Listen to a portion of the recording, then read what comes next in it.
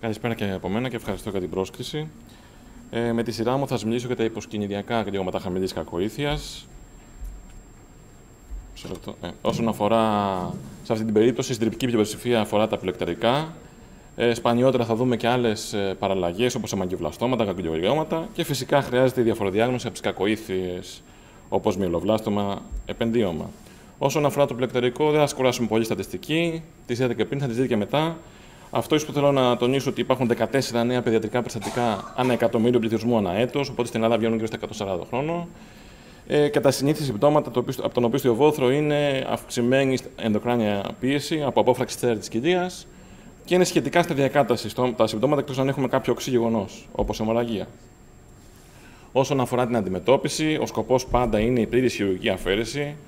Όταν αυτό επιτυχάνεται, ε, η πενταετής επιβίωση είναι άνω του 95% και η δεκαετής άνω του 90%.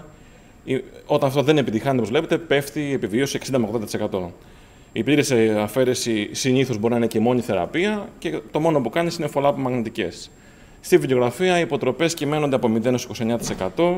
Οι υποτροπές αντιμετωπίζονται και πάλι χειρουργικά, εκτός αν λόγω της θέσης δεν είναι δυνατό ε, ή αν υπάρχουν πολύ σύντομες υποτροπές, κατ' εξαίρεση του κανόνα βεβαίως. Τότε μόνο μπορεί να χρειαστεί συντροματική χημοθεραπεία και σπανίως ακτινοθεραπεία. Ε, όσον αφορά δική μας εμπειρία, από το 7 στο 17 ε, έχουμε αντιμετωπίσει 23 απελεκτερικά στροκυτώματα της παραγκεφαλίδο, 11 αγόρια, 12 κορίτσια, μέση ηλικία 7,16 έτη, μέση επιβίωση, μέση, μέσω follow-up ε, δικό μας 3,5 έτη και επιβίωση 100% μέχρι τώρα. Από κάτω βλέπετε ένα παράδειγμα πώς φαίνεται μια πλήρη αφαίρεση. Ε, από αυτά τα περιστατικά, 15 επιτεύχθηκε η πλήρης απεφαίρεση, 8 είχαν ένα μικρό υπόλοιμα κάτω από τα 8 mm στην άμεσα μεταχειρητική μαγνητική. Οι τρεις από τους 8 αυτούς δεν χρειαστήκαν κάτι περαιτέρω χειρουργικά. Οι 5 χρειαστήκαν συν ένα ασθενή από το γκρουπ της πλήρη αφαίρεσης. Όσον αφορά τις ε, υποτροπές, βλέπετε από κάτω είναι μία στον ένα μήνα, μία στο 5 μήνες, 2, 3, 4 και 5 χρόνια αντίστοιχα. Ε, στα 5 περιστατικά χάθηκε μόνο μία επανεπέμβαση, ενώ υπάρχει και ένα η εξαίρεση του κανόνα, η οποία θα δείτε και στα επόμενα, που χρειάστηκε δύο επανεπεμβάσεις και, και, μια και περαιτέρω θεραπεία βεβαίως. Όσον αφορά αυτή την εξαίρεση, πρόκειται για ένα παιδί 8 ετών, το οποίο παρουσιάστηκε με οξύδρο κέφαλο από Μαρία του Όγκου, γλασκόβι 10, χρειάστηκε επίγουσα τοποθέτηση εξωτερικής παροχέτευσης ε, και τρεις μέρες μετά ε, αφαίρεση του όγκου, το οποίο φυσικά ήταν επιλεκτορικό στο κοίταμα grade 1, BRAF αρνητικό. Εδώ πάνω αριστερά θα δείτε την εξωτερική παροχέτευση και λίγο είμαστε στην τρίτη κοιλία. Στη διπλανή εικόνα, όπω φαίνεται, όγκος με σκελαφική πρόσληψη και πώς βλέπετε την, την άμεσα μεταχειρητική διαχειρητική μαγνητική από κάτω με την ε, αφαίρεση.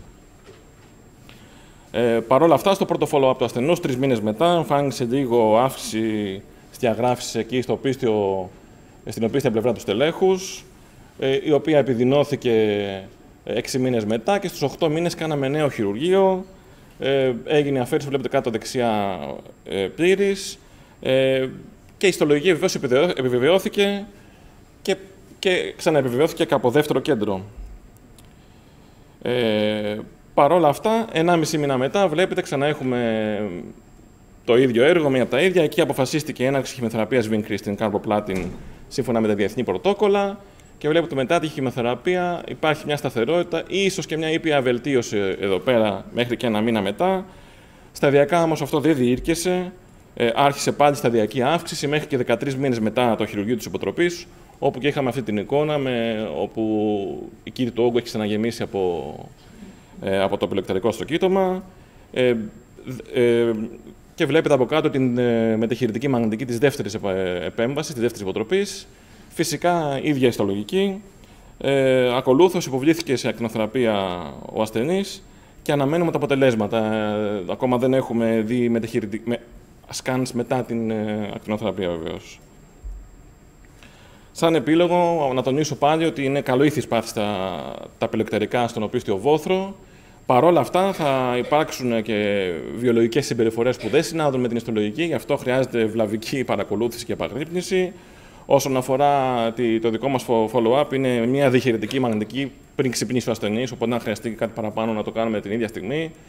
Ε, τον πρώτο χρόνο ένα τρίμηνο, το δεύτερο χρόνο ένα εξάμηνο και ένα έτος μέχρι πενταετία.